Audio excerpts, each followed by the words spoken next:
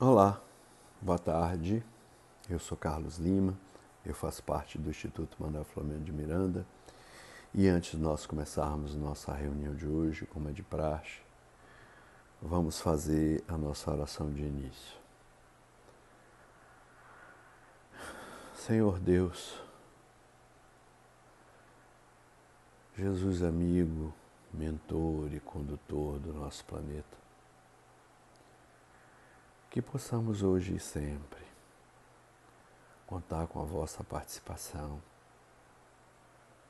com a vossa colaboração, para que possamos compreender e entender esses momentos difíceis em que todos nós passamos, uns mais, outros menos, mas não menos difícil para todos nós.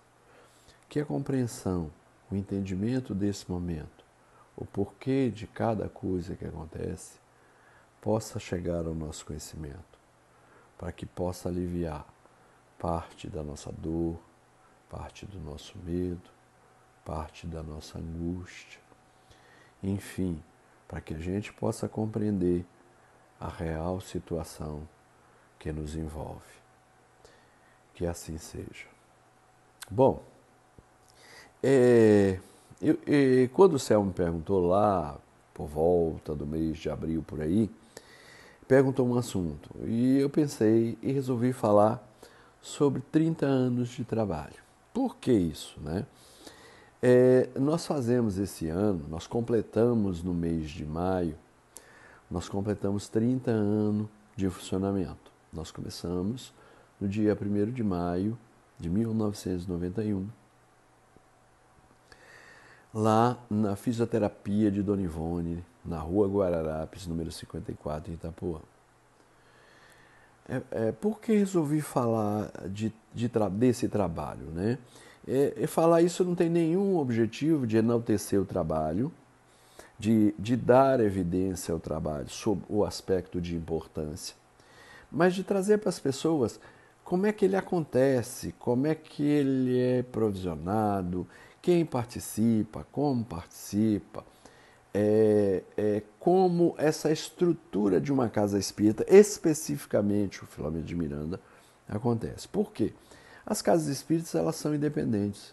Cada casa, cada dirigente, cada coordenador de alguma instituição percorre o caminho que ele achar que há afinidade entre ele e o grupo que está ali. Não existe uma regra fixa, né? Então, cada um, pela sua afinidade, faz alguma coisa. Tem gente que trabalha com paz, tem gente que trabalha com cura, tem gente que trabalha com cura, com paz, com desobsessão, com assistencialismo, dá sopa, cuida de creche, tem escola, enfim. É, isso é uma característica de cada casa. Nós, nós temos uma federação, essa federação ela é, orienta, ela oferece cursos, cursos para doutrinadores, cursos para é, evangelizadores, ela funciona como suporte para quem quer buscar teoricamente como funciona, o que aplicar. Orienta com relação a que assunto a gente poderia abordar no ano X ou no ano Y. Né? Tem algumas atividades, há um, um, um convite sempre da federação para que nos tornemos participativos do movimento espírita. E confesso que nós do Filomeno de Miranda não, não nos envolvemos muito neste movimento da federação, não é por discordar ou qualquer motivo.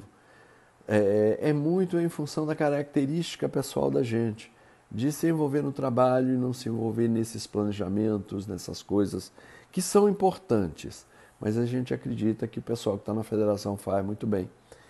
É, e a gente muitas vezes nomeia um representante para que vá, para que faça isso. Enfim, vamos lá. E a gente começa lá, há 30 anos atrás, é, uma pessoa chamada Cela Queiroz, que de vez em quando palestra pra, com a gente lá, resolveu fundar um grupo de estudo e nos convidou, porque a gente participava de um centro lá em Nazaré. O centro que era dirigido é o TELMA, Teatro Espírita Leopoldo Machado. Nessa época ele era dirigido por Carlos Bernardo Loureiro, que era um sujeito né, extremamente conhecedor da doutrina espírita e desobsessão. Ele gostava muito de obsessão. E a gente teve contato com ele, fez, percorreu esse caminho de acompanhar Bernardo e a gente também gosta da desobsessão lá desde aquela época. Então, o Selma convidou a gente para fazer um grupo de estudo, porque para ir para Nazaré, eu saio daqui de Lauro de Freitas, Selma, é, é, Célia saía de Itapuã, alguns outros aqui de Lauro de Freitas. Ficava difícil a gente ir três vezes por semana para Nazaré, ficava caro. A gente tinha dificuldade financeira para abastecer, né, para botar gasolina no carro. Então a gente resolveu fazer um grupo de estudo em Itapuã, porque ficava mais próximo da gente para que a gente estudasse Espiritismo. Né? Bernardo sempre disse, sempre dizia o seguinte: não existe Espiritismo sem estudo. Todo mundo só conhece o Espiritismo estudando, percorrendo o caminho, entendendo como isso funciona. E assim foi feito. Célia disse: Não, a gente vai começar, nós somos umas cinco ou seis pessoas. No primeiro dia, acho que já tinha umas doze. Sério, não era só nós cinco, não, é porque fulano está precisando de um passe, ciclano está precisando de um passe, vem aqui, eu já troquei o livro, a gente vai estudar um livro é, menos, que aprofunde menos a doutrina, para que essas pessoas também possam entender. no final já teve, vamos dar um passe, atrai um espírito, que virou uma reunião de obsessão no primeiro dia. E aí, nós passamos lá um ano. Nesse ano cresceu o público e a gente bagunçou aquela rua Guararapes, especificamente a casa do Anivone, tinha uma multidão já dentro da fisioterapia de pessoas. O que acabou criando transtorno para a própria família de Dona Ivone e para os moradores ali próximos. Aquela rua vivia cheia, aquela rua não era asfaltada ainda, tinha umas gramas, era carro para tudo quanto é canto. E aí é, a filha de Dona Ivone, que participava do grupo, Tereza Canuto, conversou com a gente, disse, olha, tá grande demais, já tem muita gente, né? A gente podia ver um espaço para a gente fazer nossa reunião e assim fizemos. Um, uma colega do grupo indicou uma casa de uma pessoa que era próxima dela, era mulher de um irmão dela, e nós locamos essa casa em 1992 por 200 dólares por mês. Para quem é nasceu um pouco depois, ou viveu um pouco depois, até 1994 a gente tinha uma inflação muito alta. E quando a gente queria ter um preço garantido do ponto de, de mercado, a gente dolarizava esse preço, né? Muita gente, o aluguel era 200 dólares, ou seja, cada mês você tinha um valor na moeda que eu não me lembro, se era cruzeiro, cruzado, que diacho era que a moeda lá, trocava sempre, virava, mexia, trocava, cortava zero, era uma confusão enorme. Então, a gente alugou. 200 dólares era uma grana federal para a gente. A gente ficou preocupado, não sei o quê. Aí alguém disse que a gente não devia se preocupar, que a gente estava preocupando de pagar o aluguel do nosso dinheiro, que a gente podia pagar aluguel com a contribuição de todos, enfim. No primeiro dia que a gente foi ver a casa e a gente ia limpar a casa para começar, a gente descobriu que a gente tinha aberto uma casa espírita. A gente já tinha um espaço e tinha uma reunião por semana, todas as quartas-feiras. A gente disse, não é possível a gente ficar com uma reunião só às quartas-feiras. E aí nós fomos criando as reuniões, fomos colocando mais reuniões, né? fomos criando a reunião de desenvolvimento, fizemos a reunião de sábado, né? e às vezes eu brinco, né? que a gente era, a gente era mais organizado que é hoje, né? você não tinha ficha. Então, todos os assistidos eram convidados para a desobsessão. E eu sempre brinco o seguinte: teve um dia que um rapaz levantou e falou: Gente, o que, é que eu estou fazendo aqui? Eu sou o carteiro, só vim entregar uma carta, vocês me botaram aqui dentro. Né? A partir desse dia, a gente começou a fazer ficha, e a ficha tem um objetivo: alguém expressar o desejo de fazer desobsessão. Nem todo mundo que vai à casa espírita quer passe ou quer desobsessão. Se cara vai lá conhecer, o cara vai saber como é, o cara só quer ouvir palestra, ou o cara só quer passe, ou o cara quer desobsessão. Enfim, a partir daí a gente começou a organizar de forma tranquila, de forma leve, né, criando algumas coisas onde respeitava o gosto, o desejo e a vontade das pessoas. A casa era muito pequena, a gente começou a chamar palestrantes de fora porque ninguém aguentava mais me ouvir falar e nem Célia, né? Toda só tinha nós dois na casa que falávamos, né? E eu não falava porque queria, eu falava que era obrigado, né? Me empurraram, Né? Eu nunca fui palestrante, não sou palestrante. Alguém um disse, Carlão, vai lá falar. Fala, mas eu não sei falar, vai lá e fala qualquer coisa, você não conhece Espiritismo. Fui lá e comecei a falar aquele pouquinho que eu sabia, e aí eu, na semana seguinte, não, Célio não chegou, é você. Chegou um dia e falei, gente, como é, convide alguém, porque eu já não aguento mais. Eu estou sempre falando a mesma coisa aqui, né? Eu não conheço quase nada de espiritismo para ficar falando para as pessoas. Enfim, começou um, um hábito, um critério que já era, digamos assim, uma forma, uma das melhores formas de se fazer, mas que a gente não tinha ideia, porque a gente nunca tinha feito casa espírita, não pretendia ter casa espírita, nunca foi o desejo nem o sonho abrir uma casa espírita. Nós acabamos abrindo o Instituto Manuel Flamengo de Miranda no susto, por acaso, por excesso de lotação na fisioterapia do Dona Ivone. E aí começa, digamos assim, as pessoas vindo, fazendo palestra, aí as pessoas começaram a gostar. Por quê? Porque cada dia um assunto novo, cada dia um palestrante com uma ideia nova, cada dia um palestrante com um conhecimento diferente. Isso virou uma prática. Né? A gente, pô, gostou, é legal, vamos fazer um pool de palestrantes para nos atender. E assim foi. E a casa ficou pequena, a gente andou quebrando a parede, unindo o quarto. Fizemos um salão em L. Né? Eu costumo dizer que a gente é o primeiro centro espírita da Bahia que tinha um salão doutrinário em L. Ou seja, é, é, é, o dia que a gente descobriu que a metade do público não viu o palestrante, a gente teve que mudar o palestrante de lugar, porque quem estava na ponta do L não viu o palestrante. Enfim, desculpe, faz parte da ausência de conhecimento de como se faz, de como se executa uma casa espírita. E a gente combinou que aquele grupo que compunha a única reunião que compunha tudo era o grupo que decidia tudo. Nós sempre decidimos em coletivo, como é até hoje. O grupo de desobsessão do sábado, os médios são as pessoas que decidem sobre os assuntos. A gente não decide assuntos simples. Assuntos simples, o coordenador geral faz a, a decisão dele. Né? Mas quando você vai fazer alguma coisa mais importante, o grupo é solicitado a dar da sua opinião. Operacional do dia a dia, não. Porque precisa fazer, não adianta se perguntar se vai fazer ou não vai fazer. Né? É, o coordenador geral é, decide por isso. O coordenador geral do nosso grupo é a Marina, que dirige desobsessão, e também a coordenadora geral. Tomiri é a vice-coordenadora. Né? E, e, assim foi, né? O nosso processo veio, veio crescendo, veio crescendo. Aí ficou, a gente ia comprar essa casa, não deu certo a compra dessa casa, graças a Deus, porque a casa era muito pequena, mas na nossa pouca visão nós achávamos que ali era o ideal. A mesma pessoa que nos arrumou essa casa arrumou o, o terreno onde é hoje. A gente comprou em setembro, outubro de 1988, a gente comprou aquele espaço ali. Comprando, fizemos escritura. Quando a gente chegou para lá, para lá era uma casinha, era uma casa, quarto, sala, banheiro, como qualquer casa, e a gente resolveu fazer um salão doutrinário. Primeiro a gente não tinha dinheiro. A gente já não tinha dinheiro para comprar. Para comprar a gente pegou 12 mil emprestado para pagar mil por mês para uma pessoa para fechar o preço, separamos o dinheiro do corretor, pagamos o corretor por fora, peixe em chama, até que o cara fechou com a gente a casa. Fizemos o piso. Quando a gente quebrou as paredes internas, cada cômodo tinha um nível. Ou seja, enfiamos cimento e fizemos o primeiro salão doutrinário inclinado da Bahia. Ou seja, o assistido assistia a palestra assim, meio inclinado, porque o piso era inclinado. Né? Vocês, vocês podem achar estranho, mas foi o que a gente conseguiu.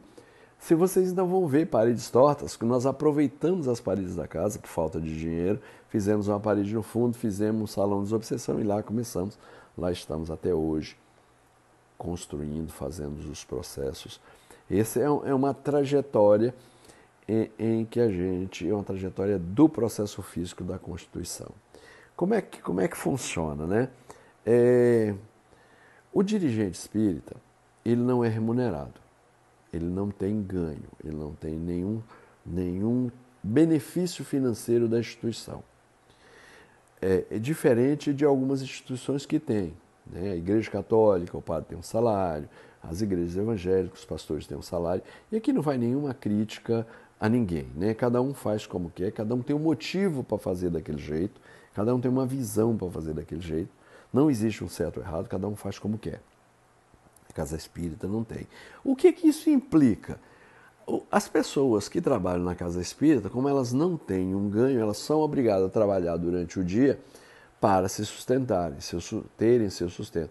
E, via de regra, participar financeiramente da manutenção da instituição. Então, a maioria das casas espíritas, elas trabalham à noite. É difícil ter trabalho durante o dia, porque ela precisa contar com pessoas que tenham disposição de horário, disponibilidade de horário, para poder prestar algum serviço. Né? Nós nunca conseguimos, a não ser lá na, na, na casa anterior, que é na rua Genebaldo Figueiredo 54. Lá a gente teve uma escola que funcionou durante alguns anos, que tinha uma pessoa que fazia tudo. Ela selecionava os alunos, ela dava as aulas, ela, ela era a professora, ela era quem coordenava, ela era quem matriculava, ela era quem preparava o material. Ela fazia tudo.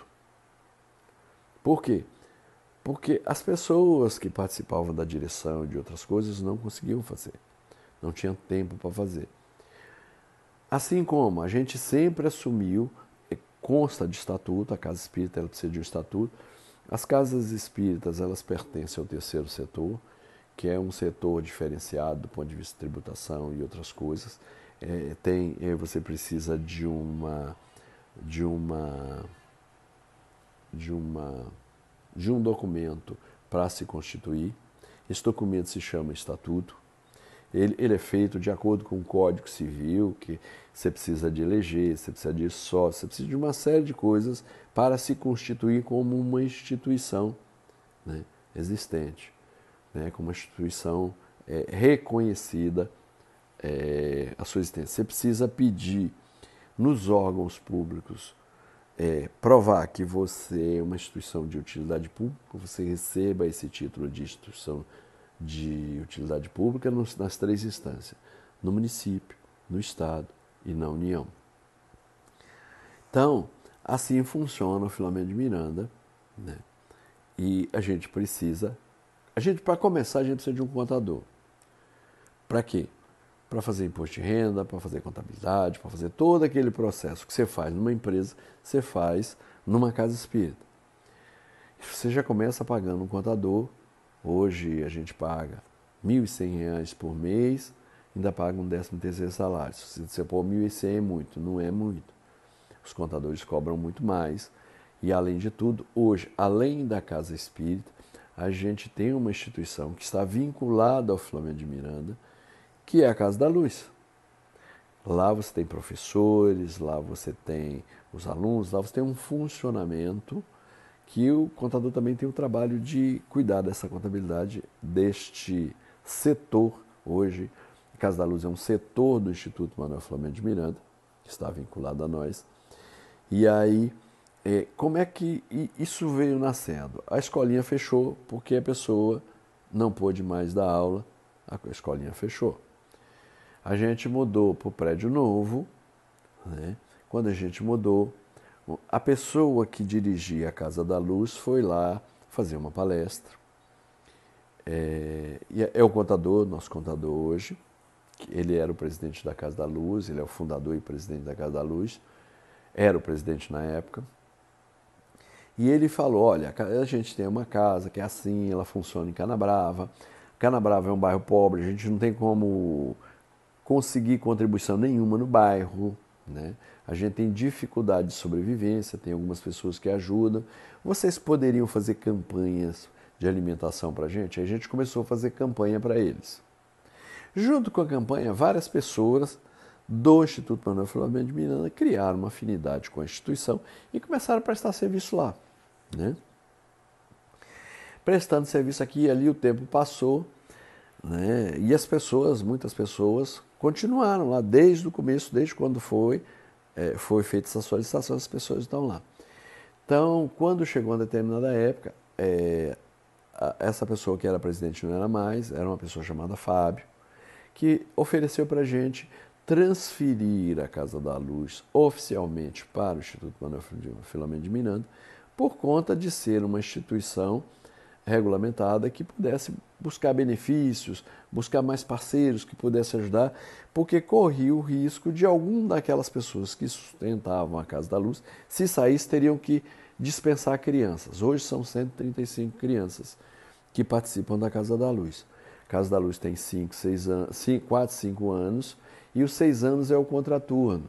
São as crianças que estão já na escola pública que no turno onde ele não está estudando, ele vai para a Casa da Luz para fazer reforço, para fazer lanche, para, enfim, para ter um atendimento e um reforço escolar e sair da rua, óbvio, daquele ambiente que é um ambiente com algumas dificuldades sociais, né? Então a Casa da Luz se torna oficial do Filomeno de Miranda. Pessoas que já estavam lá, né, se tornam, digamos assim, os coordenadores oficiais, como Márcio e Tomiri, eles assumem a Casa da Luz, porque eles já estavam lá desde o começo, né? É, trabalhando lá sobre todos os aspectos, investindo, fazendo tudo lá. Por um processo natural deles, eles assumem a Casa da Luz como gerentes, dirigentes da Casa da Luz, e lá estão até hoje. Aí você entende que o Manuel Flamengo de Miranda, que não tinha como objetivo ter nenhum trabalho social, passa a fazer um trabalho da Casa da Luz, que esse trabalho chega para o Filomeno de Miranda pronto. Nós não construímos a Casa da Luz. E nós entendíamos que fizemos uma reunião com o grupo que decide isso, está sendo oferecido para a gente, a gente aceita ou não, a gente tinha opção de não aceitar. O grupo decidiu que a gente devia aceitar. Depois que o grupo aceitou, é, Jubiabá disse que é, é, é digamos assim, uma uma obrigação nossa, é uma responsabilidade nossa qualquer instituição. Já era antes que nós acertamos ao aceitar, né? Então, assim veio. Aí mais tarde Selma veio querendo fazer sopa. Existe a fama, não, no Filomeno, no Filomeno de Minas, que eu não gosto de sopa, de que eu sou contra a sopa, né? Porque, e às vezes eu digo, eu sigo Jesus. Jesus disse o seguinte, Faça aos outros aquilo que gostaria que fizesse a você.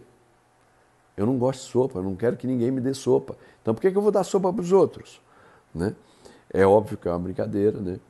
Mas eu insisti, sempre insisti com Selma de que não fizesse sopa. Como eu não gosto de sopa, faça, faça almoço, faça arroz, feijão, carne, batatinha, né? faça comida, né?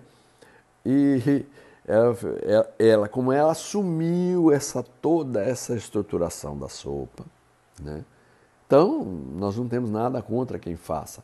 O que nós não temos é quem faça. Se vem alguém fazer, está dentro de um princípio nosso. É alguém que faz parte do grupo, que é, tem um pensamento, tem um entendimento de como funcionamos, não tem problema que essa pessoa faça.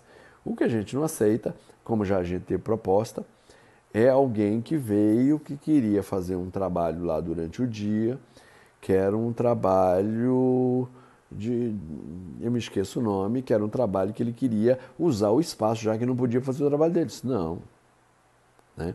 Você vai dizer, pô, aquele trabalho não tinha a ver com o nosso processo e eles não faziam parte do grupo. Né? Então, a gente não cede. Se você chegar lá, você não fizer parte do grupo, você não entender se falar, ah, eu quero fazer um trabalho assim, a gente pode estabelecer uma parceria se o trabalho tiver uma afinidade com o nosso. Embora você não seja do grupo, por exemplo, você fala, eu quero fazer um trabalho de alimentação para as pessoas em Itapuã mais estruturado. A gente faz uma parceria e, e faz, tá? Mas se o trabalho não tiver nada a ver com o nosso, a gente não faz parceria.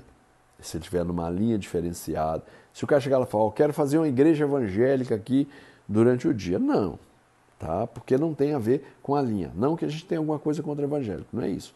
Nós fazemos isso, então a gente é fiel a isso, tá? E assim se constitui basicamente como nós chegamos a determinados trabalhos que não faziam parte do nosso processo. Como é esse trabalho? Qual é a grande dificuldade que qualquer casa espírita eu acredito que tem? Como a gente não remunera as pessoas, tá? As pessoas só podem doar o seu tempo que é excedente. Quando esse tempo deixa de existir, as pessoas se afastam. Ou as pessoas deixam de fazer aquela atividade. Alguém que faz uma atividade chega, oh, a partir de hoje eu não posso mais, porque eu vou ter o compromisso X, Y, Z. A gente tinha uma médica que atendia a clínica geral, ela chegou no começo de 2019, se não me falha a memória, ou 2020, não me lembro. Só esse ano eu não vou poder mais atender. Minha vida está cheia de compromisso, eu não vou poder mais vir aqui atender. Ou seja, aquele médico que se tinha que atendia na casa, ele atendia sem que tivesse um salário do Filomeno de Miranda para isso e não cobrava nada das pessoas, então ele não tinha um ganho. Como ele enche a vida dele de acordo com as necessidades e os processos dele, faltou horário para ele vir no de Miranda, deixa de vir. Então deixa de existir esse trabalho, porque as pessoas vão de graça. Os psicólogos, nós chegamos a ter oito ou nove psicólogos. Aí o psicólogo vai, trabalha, trabalha, trabalha. Chega um momento e diz: Olha, eu não posso vir mais. Aí você fala: Pô, mas você tem uma casa espírita e você não consegue dar a mesma dinâmica do trabalho. Não conseguimos, pela característica. Quando a gente pega algumas, não tem esse problema, porque os profissionais são pagos, as casas espíritas têm institucionalizado uma empresa que tem convênio com o INSS, há um reembolso, as consultas são pagas pelo INSS, ninguém está ali de graça, as pessoas estão ligando. Pode ter até voluntários, mas existe um ganho para a execução daquilo que permite com que a instituição possa remunerar alguma mão de obra. Tá? O dinheiro é usado para manter a estrutura. A gente não tem esse dinheiro para manter a estrutura. Então, quando o médico diz vai embora, a gente perde. A dificuldade de administrar não é só o trabalho de quem oferta, mas dentro do próprio trabalho, muitas vezes a gente pergunta: tem alguém para fazer isso? Não tem. Marcar, por exemplo, doutrinárias. Marcar as doutrinárias, você tem que ligar. Parece que não dá trabalho. Dá trabalho. Você tem que ligar, o palestrante não pode, você tem que agendar, muitas vezes tem que ligar à noite. É trabalhoso, não é difícil. A gente tem dificuldade para arrumar alguém para marcar a doutrinária para ter aquela agenda. Para hoje, hoje com a pandemia, a gente teve que ir para as redes. Hoje a gente tem uma equipe de pessoas que se colocaram à disposição. A gente estava só com uma pessoa, sobrecarregamos ela, que é Bruno, né? Bruno ficou extremamente sobrecarregado, ele fazia tudo, ele tinha que pegar palestra, tinha que editar, tinha que fazer, até um dia que ele chegou e falou, oh, não dá mais, eu não tenho tempo. Né? Muita coisa. Aí que a gente montou uma equipe, teve pessoas que se ofereceram, formação. Hoje tem algumas pessoas que fazem esse trabalho, que colocam essas palestras no ar, que fazem o trabalho de agendar com o palestrante, pedir para o palestrante mandar as palestras gravadas, pedir para o palestrante entrar no ar se ele tem uma internet compatível, ele entrar no momento, como é que ele entra, como é que linka, né? É todo um trabalho. E a maioria das pessoas não sabe isso. Ninguém nunca lhe, é, teve que fazer isso. Você na sua casa fazer uma palestra, tem um link que chega para você, você tem que entrar no link, as pessoas não sabem. Isso não é do dia a dia. Né? Então, até as pessoas se acostumarem a fazer essa, essa entrada no ar através de um canal, é, é uma coisa mais ou menos complexa, difícil, que demanda mão de obra, que demanda, demanda tempo. As coisas custam dinheiro. Né? O que, que as coisas custam dinheiro? A gente tem um funcionário. Hoje a gente tem júnior, que é o, o, funcionário que limpa, que, que está lá para receber as pessoas quando estiver funcionando, é a pessoa que faz limpeza, é a pessoa que toma, que liga ar-condicionado, que desliga ar-condicionado. Né? A gente tem um custo de energia, a gente tem um custo de água, a gente tem um custo de material de limpeza, tem um custo de salário, tem um custo de contabilidade, tem um custo de, dos impostos. Por quê? Os professores da Casa da Luz, eles têm salário, a Casa da Luz paga, né? mas uma parte vem para a gente pagar junto, que a gente combinou, a gente paga junto com, não me lembro que é, a menor parte. A maior parte quem paga são dois impostos. O imposto menor a gente paga, que dá em torno de 700 reais por mês. O imposto maior, que dá quase 3 mil reais por mês, a Casa da Luz paga.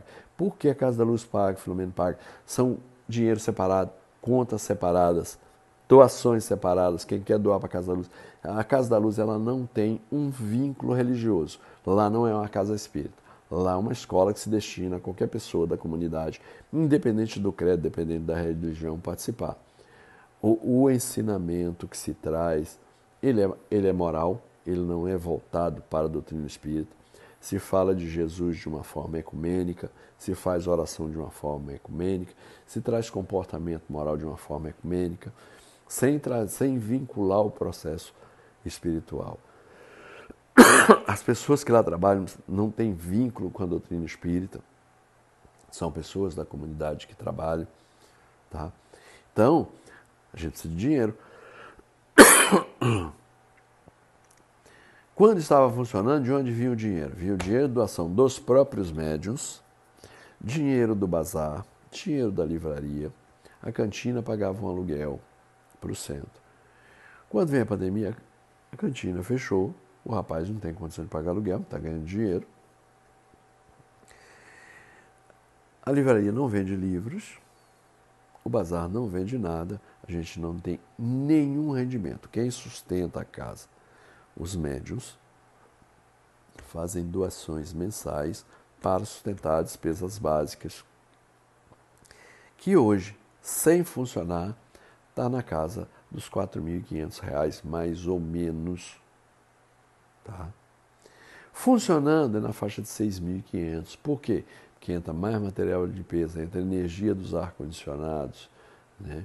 entra mais consumo de água, aumenta o consumo de água, enfim, com a vindo papel higiênico, todo esse material de limpeza nos sanitários, eles acabam entrando, acaba gerando custo, que é o passa hoje em torno de 6.500 a 7.000 para manter a instituição funcionando. De onde vem esse dinheiro? Vem desses mesmos lugares que eu já disse. Então, há uma dificuldade. As pessoas dizem, ah, religião dá muito dinheiro, religião os caras ficam ricos, tal, não sei o quê. Tem alguns que ficam, a maioria não. A maioria vende o almoço para comprar janta. Né?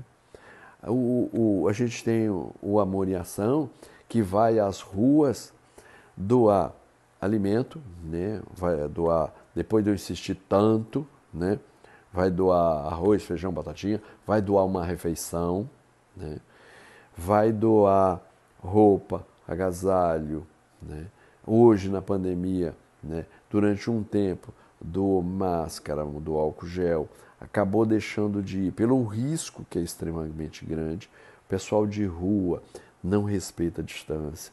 As pessoas que, que doam, que vão lá fazer a doação, eles montam, falam, abraça, coloca a pessoa em risco, né?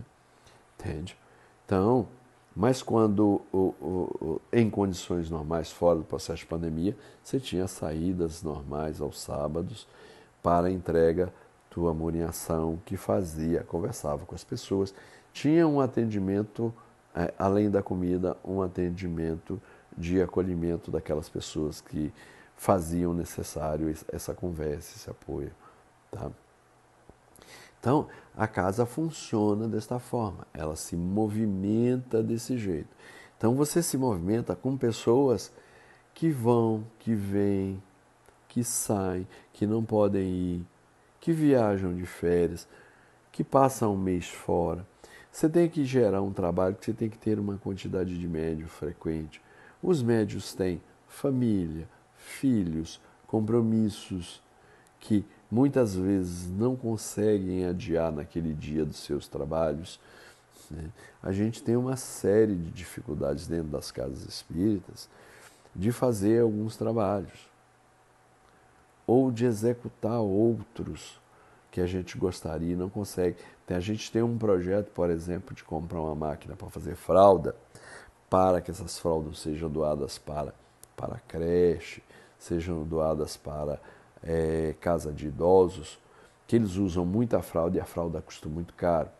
Quando a gente fabrica, não tem a mesma qualidade das industrializadas pelas marcas famosas, mas elas funcionam com aproveitamento menor, mas por um preço muito menor para quem fabrica, para que a gente possa auxiliar. A gente não consegue implantar. Por falta de quê?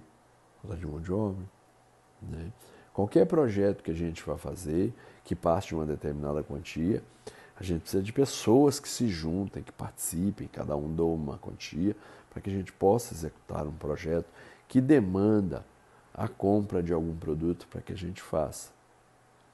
Então, nesses 30 anos, muita gente veio, muita gente foi embora, muita gente contribuiu para essa construção, muita gente participou da construção dessa casa. As pessoas foram embora pelos motivos mais diversos, porque tiveram que mudar, porque foram transferidas, porque não ficaram, ficaram descontentes com o Filomeno, porque brigaram com alguém lá dentro, porque acharam que não era assim que se fazia, né? Porque achavam que faziam de outro jeito, e cada um teve seu motivo para ir embora. O que eu sempre pedi para as pessoas é quando for embora, ser livre, você não precisa ficar aqui, mas venha falar tchau. Se não quiser dizer porque está indo, não diga. Mas de preferência, nos conte porque que você está indo. Porque se tiver alguma coisa que a gente possa fazer para você ficar, a gente vai fazer.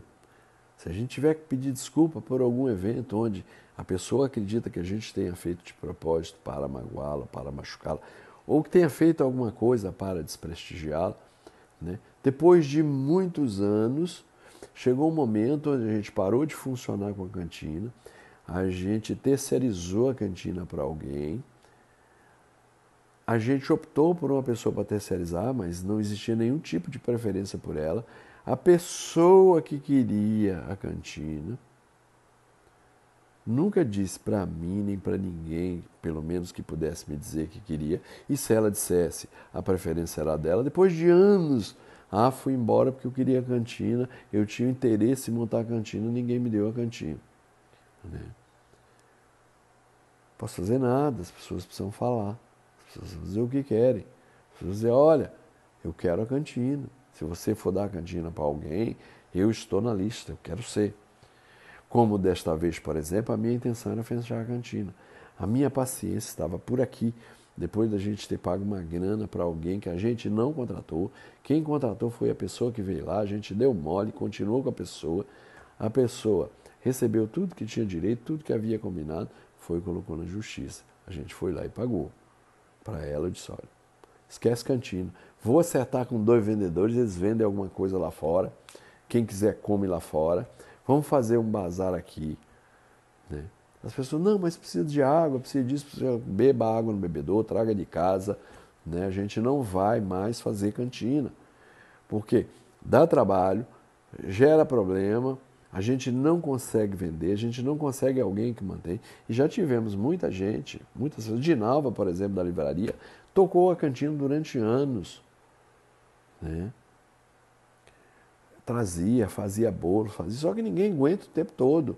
Falta mão de obra para ajudar, falta gente para participar, falta gente para dividir.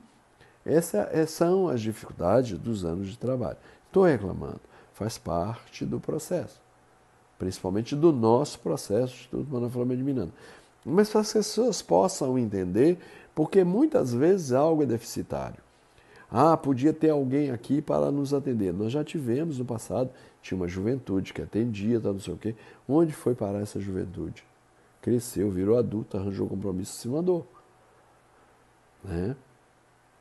Hoje, a gente não tem pessoas que possam ir lá para frente para receber as pessoas, para dizer que elas são bem-vindas. Não que a gente não saiba que tem que fazer isso. A gente não tem material humano que se disponha a fazer isso.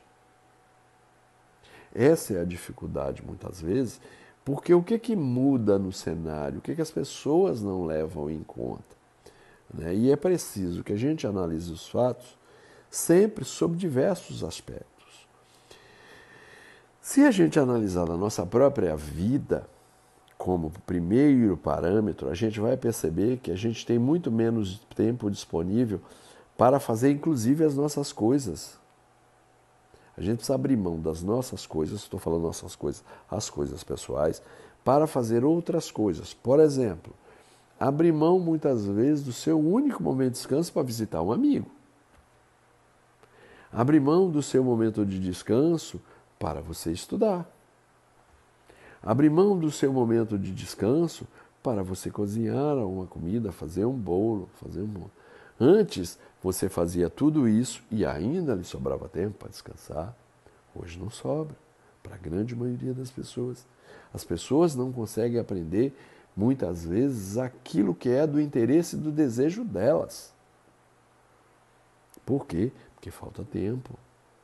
O tempo está passando e a gente está se ocupando e a gente está buscando correr na casa espírita. Esse sujeito também vai faltar com a casa espírita. Essa pessoa vai deixar de ter tempo para ir no sábado, duas horas da tarde, começar a receber as pessoas e sejam bem-vindos, quem é a senhora, só está fazendo tratamento por aqui. Nós não temos essas pessoas para fazer isso. Essa é uma das dificuldades, por quê? Porque o cenário da vida mudou. Mudou tanto que nós estamos aqui. Estou na frente de um aparelho falando para que chegue a vocês e vocês possam assistir de dentro da casa de vocês. Entende isso?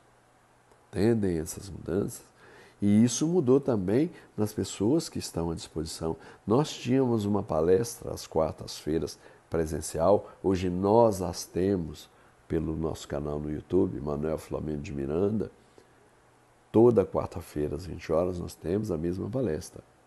Hoje, praticamente, nós temos a mesma quantidade de pessoas na palestra que a gente tinha e a gente se questionava nos últimos tempos na palestra presencial. Em torno de 40, 30 pessoas.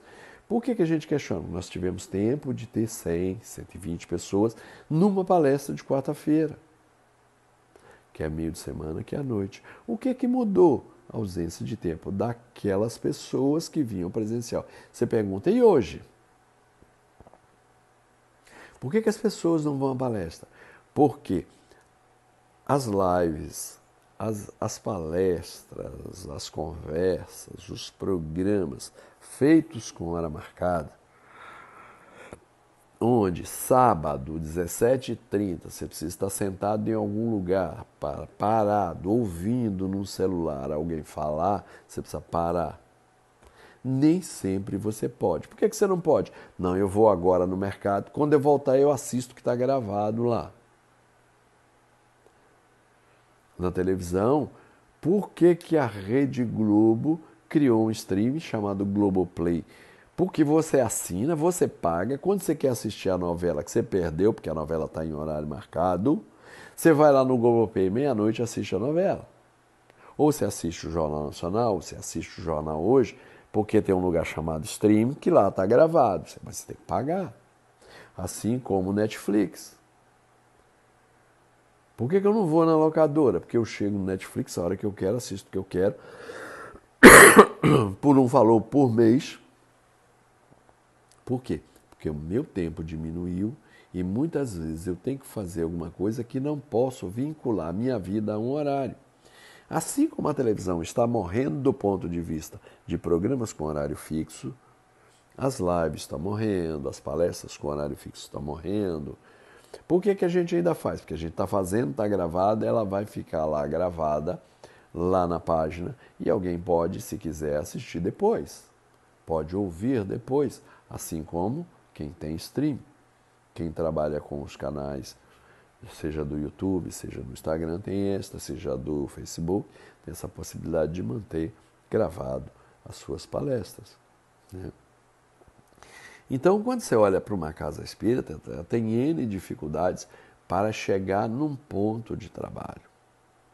Qual é a característica principal do Filomeno de Miranda? Nesses 30 anos, todas as pessoas que trabalham no Filomeno de Miranda, com exceção do assalariado, todos que trabalham, com exceção do assalariado, inclusive quem dá sopa, precisa participar de um grupo de estudo. Estudar é essencial nós estudamos sempre no mesmo período que a gente trabalha os trabalhos noturnos, então você tem reuniões de estudo antes dos trabalhos para que as pessoas estudem. É uma condição sine qua non de trabalhar no Filomeno de Miranda. O que permitiu e permite o desenvolvimento do trabalho no Instituto Manuel Filomeno de Miranda. Hoje nós temos um trabalho que é feito, nós temos vários, mas nós temos um trabalho que é feito chamado Ressonância Espiritual, que é feito nas terças-feiras à tarde, das, das das 15 às 17 horas, que é um trabalho que é feito, que é um trabalho espetacular do ponto de vista de auxílio às pessoas. A gente tem um trabalho às quintas-feiras, que é o reequilíbrio energético, que é um trabalho que já existia presencial, hoje ele é feito à distância, uma equipe trabalhando, que é uma equipe que, que tende a reequilibrar energeticamente o corpo, o corpo físico das pessoas. Ajuda a estruturar. Nós temos a desobsessão, que hoje é à distância, aos sábados. A gente tem nas terças-feiras o Evangelho também, que se destina a com que as pessoas que estudavam as terças-feiras o Evangelho continuem as terças-feiras estudando o Evangelho. São pessoas que se doam, são pessoas que ocupam o seu tempo, são pessoas que criam seus espaços para poder fazer seus processos de doação. Então, o Filomeno de Miranda ele funciona porque existe um grupo de pessoas, e sempre existiu, sempre vai uma embora, chega outro, vai um, chega outro, que sustentavam, sustentam e sustentavam e sustentam o Filomeno de Miranda financeiramente. Muitas vezes você chega lá, o Filomeno de Miranda foi pintado, tá todo pintadinho, todo bonito. Alguém chegou e disse: pode pintar que eu pago. Pagou do bolso para que fosse pintado. Porque a gente não consegue juntar dinheiro para depois de um ano pintar. Por quê? Porque é sempre, como dizia minha avó, do estômago para a boca, do estômago para a boca. Né? Eu vendendo almoço para comprar janta é sempre o dinheiro pouco, porque os meios de render o dinheiro são poucos. Existem projetos? Existem. Existem projetos de se criar. Desde a época que banca de jornal era um bom negócio, da gente construir uma banca de jornal para que o lucro da banca de jornal sustentasse a instituição. Para que a gente não precisasse de sócio, para que a gente não precisasse de gente colaborando. Por quê? Porque o problema é colaborar? Não. É a sazonalidade. Muitas vezes o indivíduo tem uma dificuldade e ele tira a contribuição, e isso faz falta, foi um dinheiro menos, você deixou de receber, que faz falta na hora de se pagar as contas.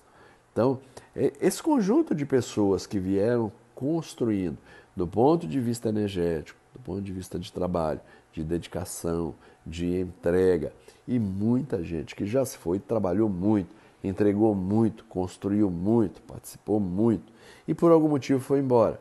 Como hoje nós temos muita gente trabalhando muito, tá contribuindo, participando, dando muitas vezes muito mais do que consegue. Tá? Então, é, é, ela está lá, ela tem 30 anos, ela existe há 30 anos. Eu posso, eu me atreveria a dizer que nós fazemos bons trabalhos, grandes trabalhos, trabalhos de vanguarda. Né? Nós não estamos preocupados com, com, com alguns conceitos é, que, que sejam restritivos. Por exemplo, a gente faz obsessão com a pessoa assistindo. Né? Muita gente achava que não devia fazer, muita gente nos criticou, porque a gente permite que o assistido veja o processo obsessivo. A gente nunca se portou com isso, nunca se portou com o que a galera acha ou deixa de achar. A gente sempre tem um motivo para fazer. Nosso motivo é o seguinte: ah, as pessoas se assustam. Sim, pessoas se assustam. Ah, tem gente que não volta mais, verdade, tem gente que não volta mais. Mas você não consegue unanimidade em nada. Se o objetivo é mostrar para as pessoas a realidade da sua própria vida, o que, que acontece do ponto de vista espiritual na sua vida, para que você tenha uma atitude de preservação, de mudar um comportamento que muitas vezes é um comportamento extremamente simples e inadvertidamente você tem aquele comportamento. Porque a maioria dos comportamentos que precisam ser mudados são comportamentos do pensamento. Porque o pensamento gera ação. Quando você cuida do seu pensamento, quando você tem uma higiene nos seus pensamentos, quando você descobre que aquele sentimento que você tem te traz um prejuízo do ponto de vista energético, espiritual, você fala: peraí, eu não quero isso para mim. O que é que eu faço para mudar? E aí você muda de atitude para deixar de ter aquele inconveniente. Como é que você vai descobrir isso se eu não mostro para você o tamanho, o tamanho do prejuízo que você está tomando? O tamanho do prejuízo é o cara lá perturbando sua orelha, apurrinhando sua paciência E a desobsessão na presença tende a isso. Ah, tem alguém que ficou com medo. Tá, sim. Um monte de gente já entrou dentro daquela sala de desobsessão e já saiu. Não tem nada de aterrorizador ali dentro, não tem nada de sobrenatural. Tem muito mais do medo do sujeito do que é um espírito dizendo que vai te pegar, que você é sacana, que você ferrou a vida dele, né, que você atrapalhou ele, que você ferrou com ele, que ele vai se vingar de você. E aí você não quer ouvir muitas vezes isso. E às vezes é isso, nem sempre. Né? Isso é o que eu consideraria uma das piores coisas. Os palavrões que o espírito possa eventualmente dizer, dizer são retidos, não são verbalizados. Quer dizer, nem uma agressão aos seus ouvidos com um palavrão você os terá. Mas as pessoas têm. Ok, a pessoa tem medo, mas ninguém entra ali porque foi obrigado. É perguntado, por isso fazer a ficha. Você quer fazer desobsessão? Quero. Você quer ouvir os espíritos? Ele vai dizer sim ou não. Se ele diz sim, ele fica. Se ele diz não, você é atendido em determinado momento onde ninguém incorpora, há um trabalho de energia, te libera e a partir daí os espíritos começam a se manifestar. É a opção do sujeito. Né?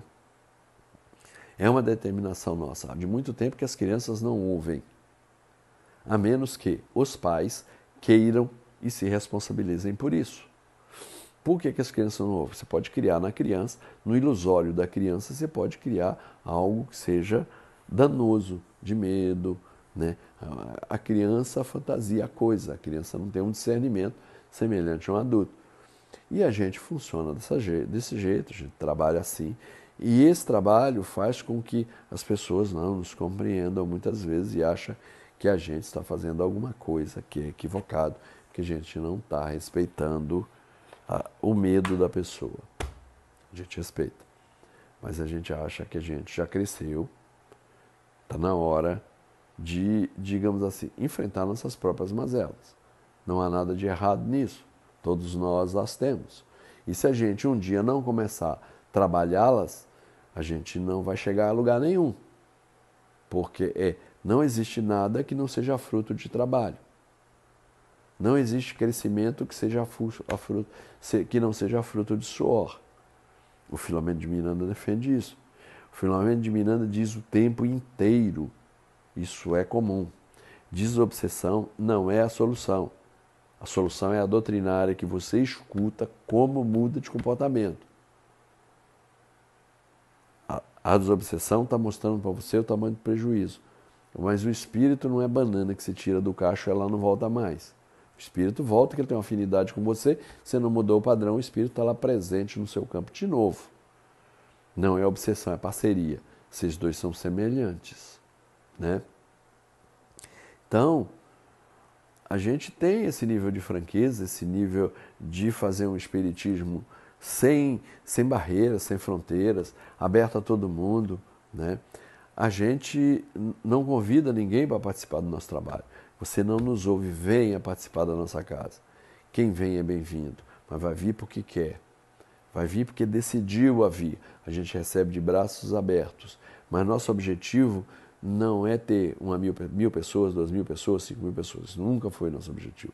Nosso objetivo é ter qualquer número de pessoas que estejam inteiras lá, que estejam lá para aprender, que estejam lá para crescer, que estejam lá para trabalhar, assim como eu, nossas mazelas, para trabalhar nossas dificuldades, para poder servir primeiro a nós e depois aos outros, né? Porque acredite, né? Quem está trabalhando numa instituição com essa, primeiro está servindo a si próprio, tá? depois aos outros. Né? A gente precisa agradecer todo dia as pessoas que se colocam como assistidas. Por quê? Porque sem elas não faria sentido o nosso trabalho existir.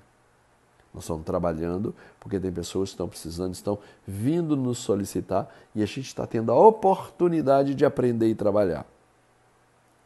Né? a gente é assim, a gente se constituiu assim. Eu estou falando disso para que as pessoas muitas vezes olhem e falem, pô, esse pessoal não faz isso, não faz aquilo, não faz aquilo outro. Não é que a gente não saiba o que fazer ou não perceba o que fazer. A gente agradece quando as pessoas dizem, ó, oh, vocês podiam fazer isso. Muitas vezes a gente não se tocou daquilo. A gente está tão acostumado com o vai e vem ali que a gente não percebe. Quem está vendo vem de fora diz, ó, oh, vocês podiam fazer isso. E a gente acata é, quando é possível ser acatado. O fato de ser uma boa ideia nem sempre é possível executá-la. A gente teve uma reunião com uma moça que disse que lá a gente ninguém sabia administrar. Ela pegou uma folha de caderno, aquele caderno chamado caderno universitário, e encheu de palpites daquilo que a gente podia fazer para ter dinheiro na instituição. O objetivo principal da instituição é ter o dinheiro suficiente para pagar as contas, para fazer a manutenção, não é fazer um cofre para a gente ter dinheiro guardado, né? só para a gente pagar o nosso custeio do dia a dia e poder pintar a instituição uma vez por ano. Esse é o nosso desejo. A gente nunca conseguiu. A gente está sempre fazendo porque alguém está doando um valor bem maior para que isso aconteça. Mas enfim, ela fez um caderno né, e disse: Ah, ninguém sabe administrar, olha quantas ideias boas. Né? Ah, uma ideia: vamos comprar um carrinho de pipoca Vamos botar o carrinho de pipoca aqui na frente da cantina, a gente vende pipoca. Porque uma pipoca não sei quanto, custa não sei quanto, faz não sei quanto, dá tanto tempo, então não sei quanto. Tá. Com que dinheiro você vai comprar um carrinho de pipoca? Ah, alguém deu o carrinho de pipoca. Beleza. Quem vai fazer pipoca ficar lá parado na frente vendendo a pipoca? Ah, não tem. O carrinho não vende sozinho. Ah, já deve ter inventado. Nos Estados Unidos deve ter um carrinho que você aperta o botão, ele faz a pipoca, tu bota a moedinha, ele dá o saquinho de pipoca. Mas não chegou aqui ainda e não tem grana para comprar o carrinho automático. Fui tentar alugar aquelas máquinas. Sabe aquelas máquinas legais que tem hotel, aeroporto, tudo quanto é canto? A gente bota aqui no Filomeno, acaba com a cantina, tem uma máquina. Você quer comer uma batatinha, tu aperta o botão, bota o dinheiro. Você tem que ter um faturamento mínimo, gigantesco. Você tem que estar com aquela máquina no lugar onde circula muita gente. Senão você tem que pagar a diferença para o dono da máquina. Máquina de café, botar a máquina de café. Eu tinha que ter um faturamento vendendo café de R$ 1.500 por mês. Né? De graça as pessoas não estão não bebendo, de graça as pessoas não estão trazendo pó para fazer. Né? Você imagina pagando dois reais num café numa máquina para fazer R$ 1.500 por mês, senão eu tinha que completar esta grana para pagar. Então, não funcionou.